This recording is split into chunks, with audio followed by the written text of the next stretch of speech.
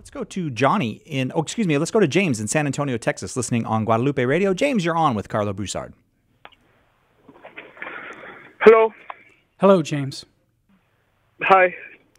Yes, uh, my question is uh, how come in the book of John, um, the apostle uh, John uh, goes around uh, baptizing adults and stuff, and yet, uh, I mean, I'm Catholic, and uh, I know that uh, the Catholic um, Catholic Church, like, um, they baptized um, the kids when they're like little Sure. babies.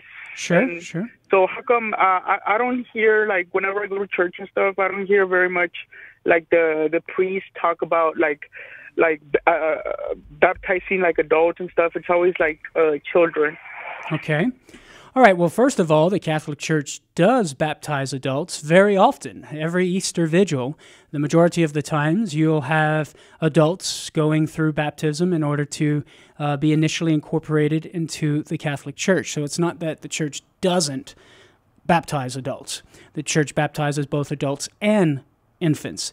Now, with regard to your question concerning, you know, why do we baptize infants when the Bible in the Bible you have John and you have uh, even the apostles going around baptizing adults because uh, you know all of those initial converts were all adults right? So they're proclaiming the gospel to adults. For example on the day of pentecost in acts chapter 2 peter preaches the good news of jesus christ. 3000 people convert. You know, they say, What must we do to be saved, in essence? You know, they have this compunction in their heart. What do we got to do?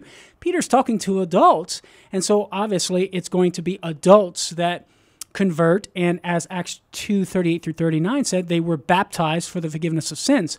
But what's interesting, James, is in Acts chapter 2, verses 38 through 39, we get a hint that the Holy Spirit and the forgiveness of sins that is administered through baptism is indeed for the children as well. Because listen to what Peter says. He says, Repent and be baptized, every one of you, in the name of Jesus Christ, and that is to say, by the authority of Jesus Christ, with Jesus' baptism, for the forgiveness of your sins. And Peter says, You shall receive the gift of the Holy Spirit, for the promise is to you and to your children. And to all that are far off, everyone whom the Lord our God calls to him. So many scholars have looked at that and, and have seen an implication that the Holy Spirit and the forgiveness of sins that is administered through baptism can be applied to children as well. And, and other examples, we have household baptisms in Scripture. You might want to check this out, James. For example, uh, Lydia and her household are baptized in Acts 16 15. Uh, we have the jailer and his family are baptized in Acts 16:33. Uh, Paul talks about how he baptized the household of Stephanas in 1 Corinthians 1:16.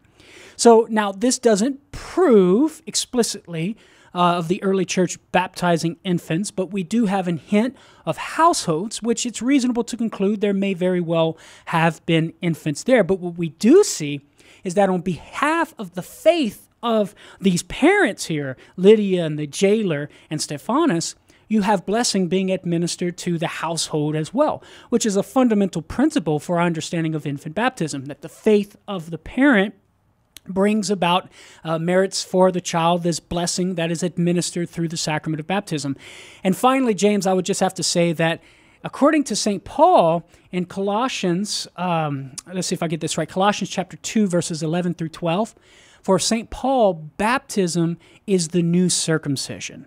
What circumcision was for the old covenant, baptism is for the new. So just as infants, particularly male infants at the time, were able to enter into the covenantal family of God through this visible sign of circumcision, so too in the new covenant, baptism is this new circumcision through which one enters into the covenantal family of God in the New Testament.